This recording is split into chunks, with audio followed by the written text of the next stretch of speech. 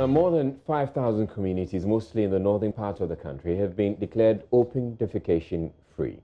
That's according to the Ministry of Water and Sanitation, who, together with participants, developing partners, embarked on a targeted campaign to stop the practice. The ministry has been explaining a plan which it hopes to achieve Ghana's targets of an open defecation free status nationwide by 2020.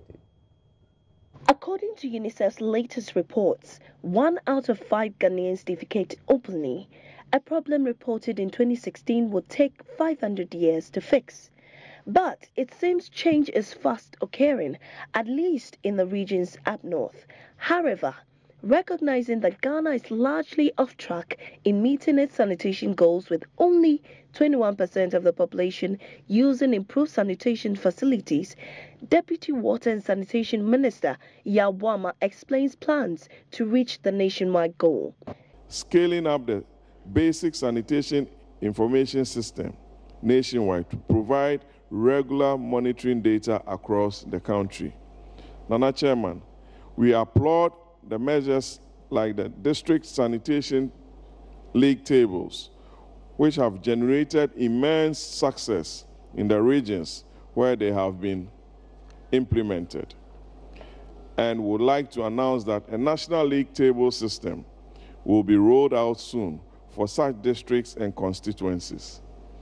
These efforts have been largely compensated with support from development partners. For accelerated progress, development partner UNICEF is happy about the progress so far. Here is Chief of Water, Sanitation and Hygiene, Ramesh Bhusal. We have to create an enabling environment where uh, households are encouraged uh, to uh, uh, invest in sanitation.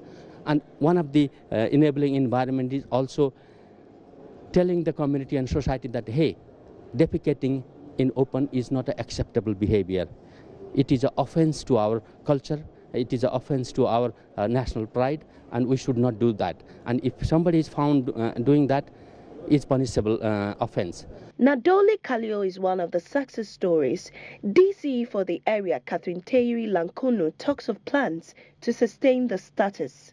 With the involvement of the assembly members who are permanent residents of the communities and the chiefs, because we continuously um, tell them, we continuously whip up their interests, we continuously compare the communities that are doing well with those that are lagging behind.